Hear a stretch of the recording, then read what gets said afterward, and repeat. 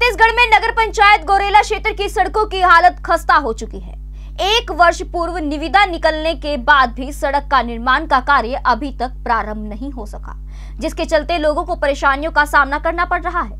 सड़कों की हालत खराब होने से कई बार दुर्घटनाएँ भी हो चुकी हैं। लेकिन जनप्रतिनिधि एवं प्रशासन पूरी तरह से मूक दर्शक बना बैठा है।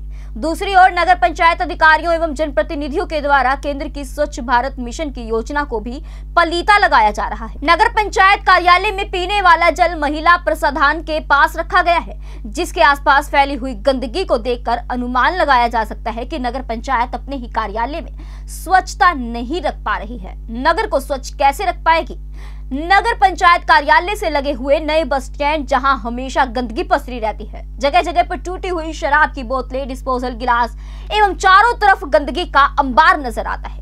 इस बारे में मुख्य नगर पंचायत अधिकारी ने बताया कि सड़क की मरम्मत हेतु निर्वाचन के पूर्व निविदाएँ निकाली गई थी, परंतु आपत्ति आ जाने के कारण निविदाएँ निरस्त करनी पड़ी। शिकायत की प्रशासन स्तर पर जाँच चल रही है।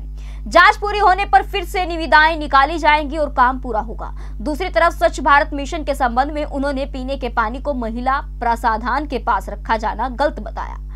उसे जल्द ही वहाँ से हटवाया जाए बिलासपुर से संवाददाता संतोष नामदेव की रिपोर्ट JBD Banquets लाए हैं Incredible Marriage Palace Rajgharana and the finest banquet hall Jyoti Garden.